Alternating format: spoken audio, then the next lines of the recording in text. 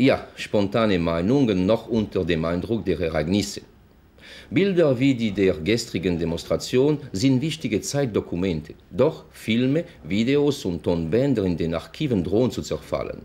Vor einem Jahr hat deshalb ein Verein den Wettlauf gegen den Zahn der Zeit aufgenommen. Retten, was zu retten ist, damit man kommenden Générations zeigen kann, was früher geschah. Des images comme celles que vous venez de voir seront peut-être perdues dans 20 ans. Notre héritage audiovisuel est fragile. Des dizaines de témoignages audiovisuels disparaissent tous les jours. Pour conserver aux générations futures ces images de notre quotidien, une association a lancé une véritable course contre l'usure du temps. L'associazione Memoriav vuole salvaguardare le immagini e i suoni che testimoniano della nostra vita quotidiana. Un progetto ambizioso, ma non del tutto facile.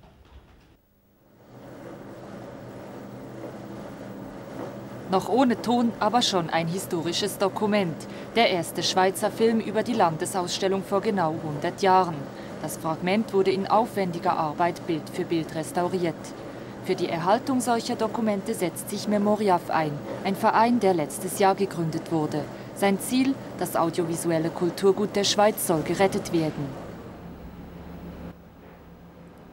Memoriaf sorgt dafür, dass Filme nicht so enden.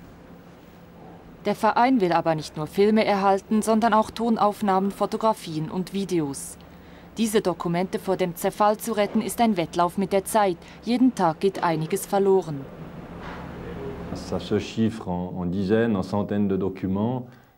Das sind ungefähr 10 oder auch 100 Dokumente.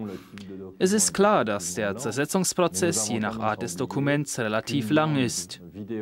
Aber wir vergessen oft, dass ein Videoband eine Lebensdauer von maximal zehn Jahren hat, ein Tonband ebenfalls und dass sogar langlebige Datenträger wie die CD-ROM eine viel kürzere Lebensdauer haben, als man dachte. So 15 bis 20 Jahre.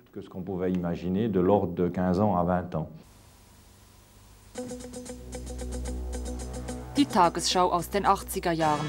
Damit ihre Farben klar bleiben, müssen die Aufzeichnungen bereits heute auf moderne Kassetten überspielt werden. Dies ist das umfangreichste Projekt von Memoriav. Memoriav kümmert sich jedoch nicht nur ums Fernsehen, sondern auch um alte Radiobeiträge, die noch auf Schallplatten produziert wurden.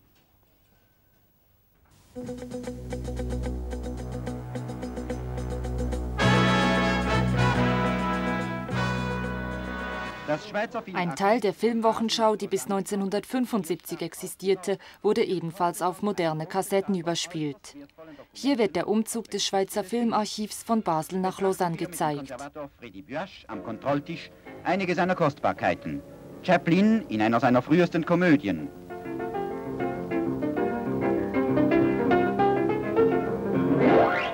Nein. Äh, der Besuch des deutschen Kaisers in der Schweiz. Solche Dokumente gelten für viele als historisches Gedächtnis, als Identität eines Landes. Vor drei Jahren hat deshalb eine Arbeitsgruppe eine Sensibilisierungskampagne lanciert unter dem Motto Ein Land verliert sein Gedächtnis. Was bedeutet diese Identität?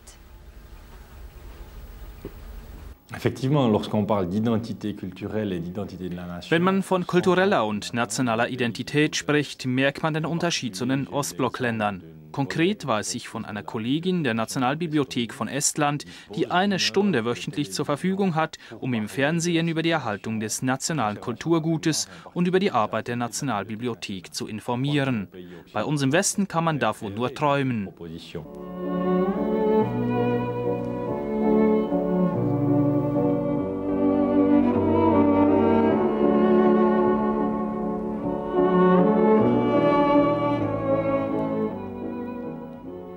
Der Schweizer Fotograf und Optiker Carlo Ponti, ein Pionier seiner Zeit, erfindet um 1862 ein Gerät, das seine Fotos mit einem Tag- und Nachteffekt zeigt. Memoriav zeigt diese Fotografien nächste Woche in Vevey. Außerdem werden restaurierte Filme vorgeführt, die letztes Jahr in einer Schuhschachtel gefunden wurden. Mit solchen Veranstaltungen will man die Bevölkerung sensibilisieren und Verständnis schaffen für die hohen Kosten bei der Restauration. Ursprünglich war ein Budget von 8 Millionen jährlich vorgesehen. Dieses fiel jedoch den Sparmaßnahmen des Bundes zum Opfer. Memoriaf hat im März vom Bund 1,5 Millionen erhalten. Das reicht nicht lange. Der Verein sucht deshalb nach zusätzlichen Geldquellen. Ist die Idee eines angemessenen Budgets begraben? Wir haben die Idee nicht aufgegeben. Wir werden Schritt für Schritt vorgehen, indem wir Verständnis schaffen bei der Bevölkerung und bei den Politikern. Es ist höchste Zeit, dass wir etwas tun. Wir werden bescheiden beginnen, aber die Hoffnung bleibt, dass die Leute unser Anliegen ernst nehmen. Nous allons démarrer plus petit, mais l'espoir reste que beaucoup de gens vont prendre conscience qu'il est important d'investir là-dedans.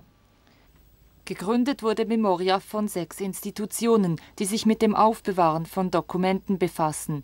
Neben Bundesarchiv und Landesbibliothek sind dies die SRG, das BAKOM, die Landesphonothek in Lugano und das Filmarchiv in Lausanne. Durch den Zusammenschluss wird vermieden, dass dieselbe Arbeit doppelt gemacht wird. Überall ein ähnliches Bild, die Archive sind überfüllt. Durch die Flut von Informationen ist es schwierig, eine Auswahl zu treffen. Was würde der Präsident von Memoriaf wählen? Ich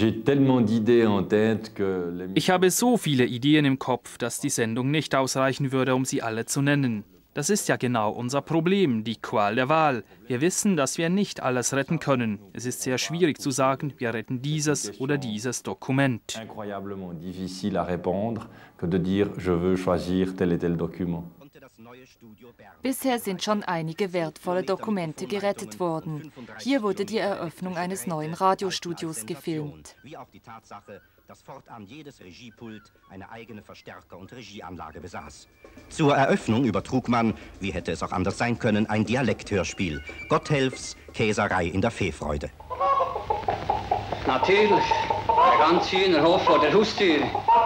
Tschung, fort mit!